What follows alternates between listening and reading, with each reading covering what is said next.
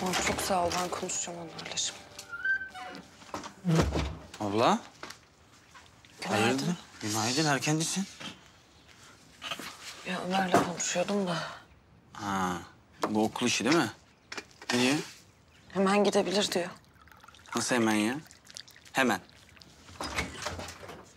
Nasıl hemen? Günaydın. Günaydın bir elinizi yüzünüzü yıkayın hadi bir şey konuşacağız. Ne oluyor abla? Hayırdır? Geçin bakalım siz şöyle. Abla ne oluyor anlatsana. Tamam oturun.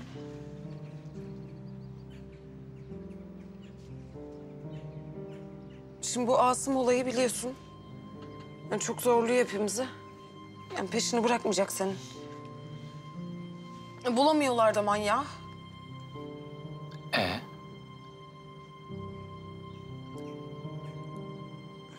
Ben seni Ankara'ya yollamaya karar verdim yatılı okula. Ne? Nasıl ya? Ciddi misin sen? Ciddiyiz maalesef.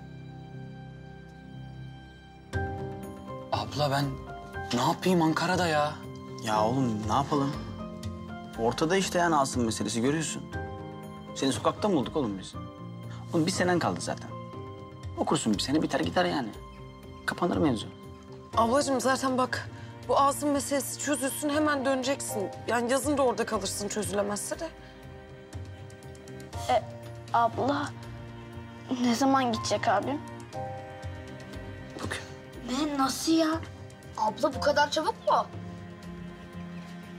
E abla, bugün babam nişanlanacak. Hadi bir de o var değil mi şimdi ya? Kirazcığım yetişebilirsek ona da gideriz.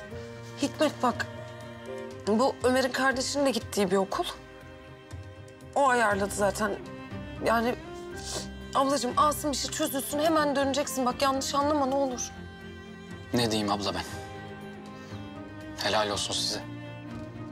Beni başınızdan atmak için hiç vakit kaybetmemişsiniz. Oğlum onun için mi söylüyoruz biz? Onun için mi söylüyoruz? Ablacığım biz hemen geleceğiz yanına zaten. Hikmet nereye? Odama gidiyorum abla. Bavulumu toplayacağım. Babama da siz mutluluklar dilersiniz benim yerime. Tamam da ya.